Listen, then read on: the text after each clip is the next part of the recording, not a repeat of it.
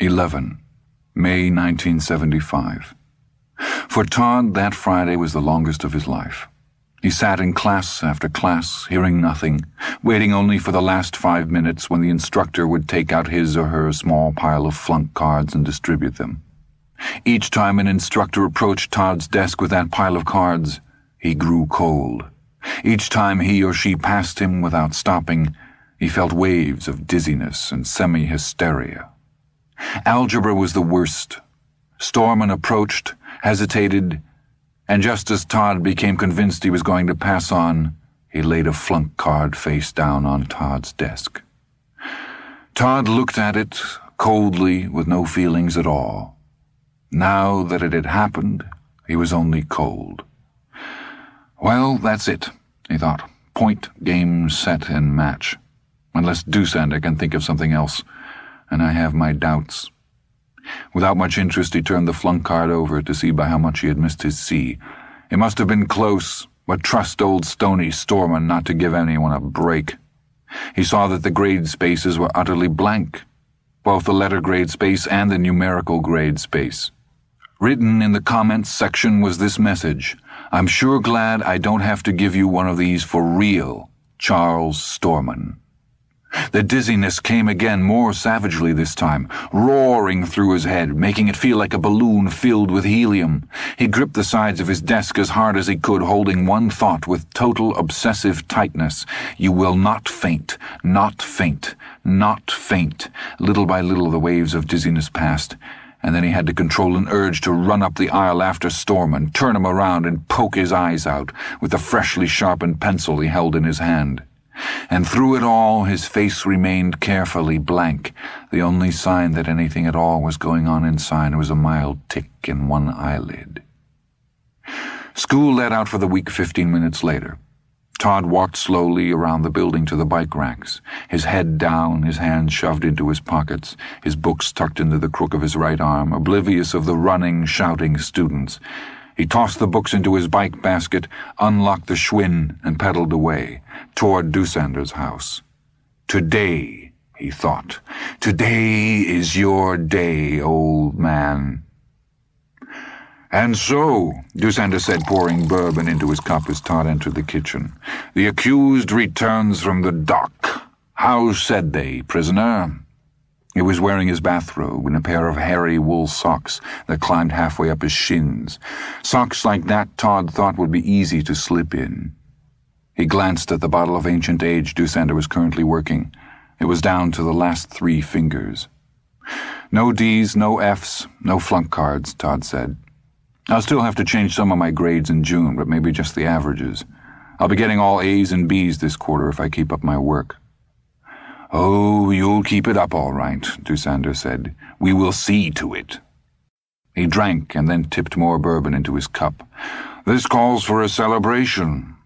His speech was slightly blurred, hardly enough to be noticeable, but Todd knew the old fuck was as drunk as he ever got. Yes, today. It would have to be today. But he was cool. Celebrate pig shit, he told Dussander. I'm afraid the delivery boy hasn't arrived with the beluga and the truffles yet, Dussander said, ignoring him.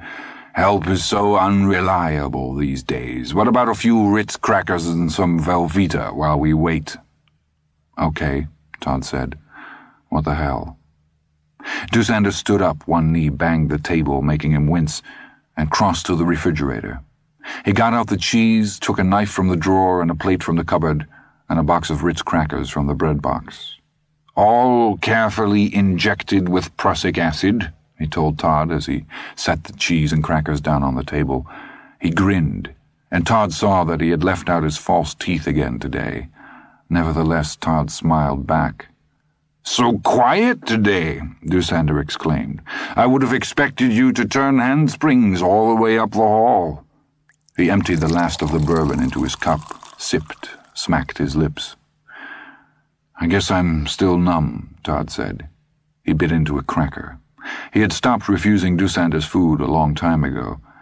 Dussander thought there was a letter with one of Todd's friends.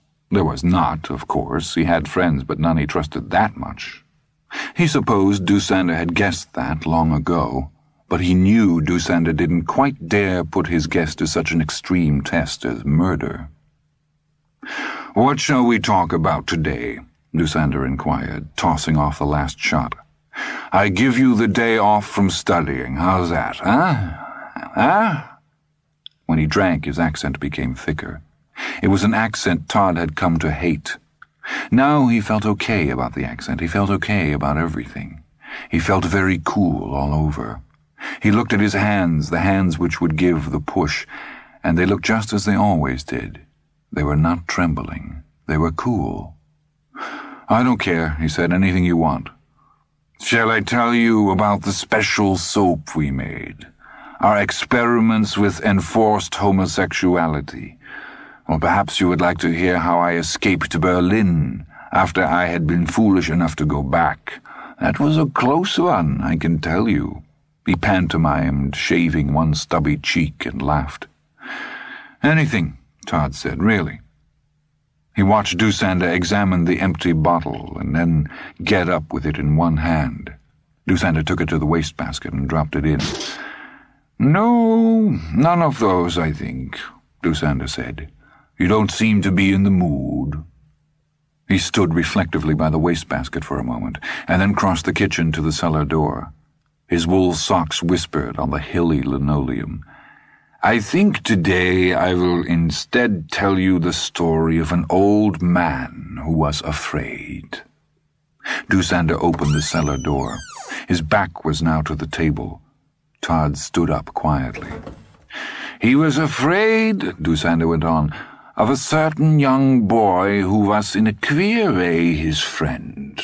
A smart boy. His mother called this boy apt pupil and the old man had already discovered he was an apt pupil, although perhaps not in the way his mother thought.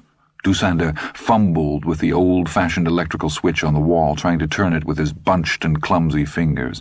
Todd walked, almost glided across the linoleum, not stepping on any of the places where it squeaked or creaked. He knew this kitchen as well as his own now, maybe better. At first, the boy was not the old man's friend. Dussander said. He managed to turn the switch at last. He descended the first step with a veteran drunk's care. At first, the old man disliked the boy a great deal. Then he grew to to enjoy his company, although there was still a strong element of dislike there. He was looking at the shelf now, but still holding the railing. Todd, cool, no, now he was cold, stepped behind him and calculated the chances of one strong push dislodging Dussander's hold on the railing. He decided to wait until Dussander leaned forward. Part of the old man's enjoyment came from a feeling of equality, Dussander went on thoughtfully. You see, the boy and the old man had each other in mutual death grips. Each knew something the other wanted kept secret, and then, ah, then it became apparent to the old man that things were changing. Yes, he was losing his hold. Some of it, or all of it, depending on how desperate the boy might be, and how clever. It occurred to this old man on one long and sleepless night that it might be well for him to acquire a new hold on the boy for his own safety. Now Dussander let go of the railing and leaned out over the steep cellar stairs, but Todd remained perfectly still. The bone-deep cold was melting out of him, being replaced by a rosy flush of anger and confusion. As Dussander grasped his fresh bottle, Todd thought viciously that the old man had the stinkiest cellar in town, oil or no oil. It smelled as if something had died down there. So the old man got out of his bed right then. What is sleep to an old man? Very little and he sat at his small desk thinking about how cleverly he had enmeshed the boy in the very crimes the boy was holding over his own head. He sat thinking about how hard the boy had worked, how very hard to bring his school marks back up, and how, when they were back up, he would have no further need for the old man alive, and if the old man were dead, the boy could be free. He turned around now, holding the fresh bottle of ancient age by the neck. I heard you, you know, he said almost gently. From the moment you pushed your chair back and stood up, you are not as quiet as you imagine, boy. At least not yet. Todd said nothing. So, Dussander exclaimed, stepping back into the kitchen and closing the cellar door firmly behind him. The old man wrote everything down, nicht wahr? From first word to last he wrote it down. When he was finally finished, it was almost dawn, and his hand was singing from the arthritis, the verdammpt arthritis, but he felt good for the first times in weeks. He felt safe. He got back into his bed and slept until mid-afternoon. In fact, if he had slept any longer, he would have missed his favorite, General Hospital. He had regained his rocker now. He sat down, produced a worn jackknife with a yellow ivory handle, and began to cut painstakingly around the seal covering the top of the bourbon bottle. On the following day, the old man dressed in his best suit and went down to the bank where he kept his little checking and savings accounts. He spoke to one of the bank officers who was able to answer all the old man's questions most satisfactorily. He rented a safety deposit box. The bank officer explained to the old man that he would have a key and the bank would have a key. To open the box, both keys would be needed. No one but the old man could use the old man's key without a signed, notarized letter of permission from the old man himself, with one exception. Dussander smiled toothlessly into Todd Bowden's white, set face. That exception is made in the event of the box holder's death, he said. Still looking at Todd, still smiling, Dussander put his jackknife back into the pocket of his robe, unscrewed the cap of the bourbon bottle, and poured a fresh jolt into his cup. What happens then? Todd asked hoarsely. Then the box is opened in the presence of a bank official and a representative of the Internal Revenue Service. The contents of the box are inventoried. In this case, they will find only a 12 page document, non taxable, but highly interesting. The fingers of Todd's hands crept toward each other and locked tightly. You can't do that, he said in a stunned and unbelieving voice. It was the voice of a person who observes another person walking on the ceiling. You can't, can't do that, my boy, Dussander said kindly. I have. But I. You. His voice suddenly rose to an agonized howl. You're old! Don't you know that you're old? You could die! You could die any time! Dussander got up. He went to one of the kitchen cabinets and took down a small glass. This glass had once held jelly. Cartoon characters danced around the rim. Todd recognized them all. Fred and Wilma Flintstone, Barney and Betty Rubble, Pebbles and Bam Bam. He had grown up with them. He watched as Dussander wiped this jelly glass almost ceremonially with a dish towel. He watched as Dussander set it in front of him. He watched as Dussander poured a finger of bourbon into it. What's that for? Todd muttered. I don't drink.